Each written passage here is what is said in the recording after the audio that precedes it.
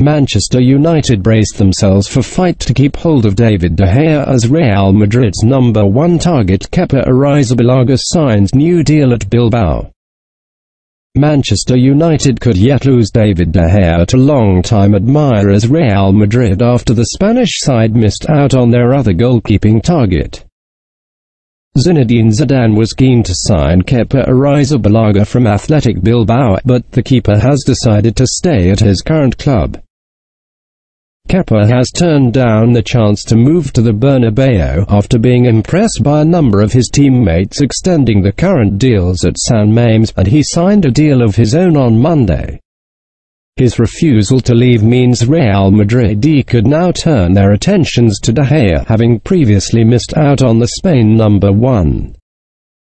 Furthermore, De Gea is yet to sign a new contract at Old Trafford and has just one year remaining on his contract. Florentino Perez is said to be desperate to sign a new keeper, having been unconvinced by Keylor Navas' performances between the sticks. Kepa's new deal at Bilbao was announced on Monday following 16 months of talks, with the player signing on until June 2025. He has an €80 million Euro release clause, and becomes the club's third highest earner with his new contract.